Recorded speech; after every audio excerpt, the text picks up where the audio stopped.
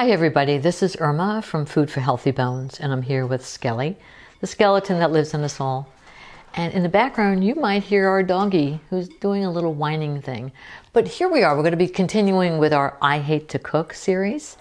And even though this is the winter and Skelly has her nice little spring and summer apron on, um, during the winter time is the time for pomegranates.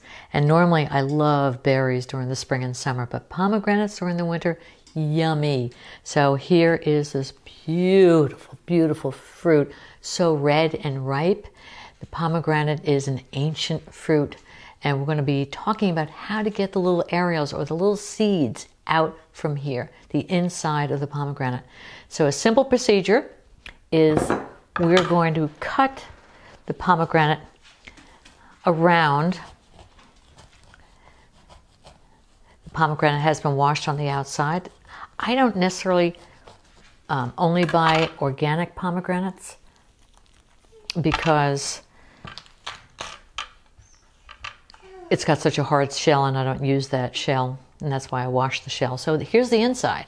Beautiful, beautiful red, ruby red. And now I'm going to just open it up a little bit, open up the membranes a little bit by doing this kind of motion, right? And you'll hear sort of these crackling in the background. And then I'm going to take my tool, which is this little mallet.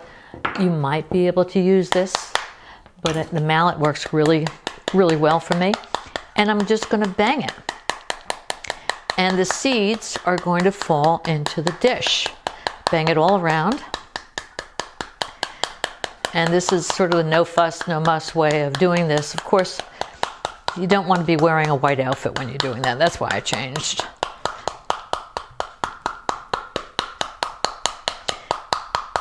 And if you're aggravated with anybody in your life, eh, you could take it out on your pomegranate. Sorry, baby. But you know, I mean, it's a nice way of doing this. Get rid of some aggression. Pomegranates. They are one of the oldest known fruits in the world. In ancient Egypt, they were buried in the tombs of royalty. Pomegranates originated in Persia, and some people still call them Persian apples or Chinese apples. They were used in Persian wedding ceremonies to symbolize health, fertility, and longevity. Modern science shows that Persians knew how to pick a symbol. Pomegranates have an abundance of antioxidants that boost your heart and brain health and cut your risk of cancer. In fact, studies show pomegranates may have a role in treating over 200 different di- diseases or conditions. But I love pomegranates for what they do for my skelly. Antioxidants from pomegranates support your bones by reducing oxidative stress that can weaken bones. A study in the European Journal of Nutrition found that all parts of the pomegranate bo- boost the activity of osteoblasts or bone building cells. They also lower the activity of osteoclasts or cells that break down bone. In another animal study, rats with accelerated bone loss were fed an extract of pomegranate juice and seeds.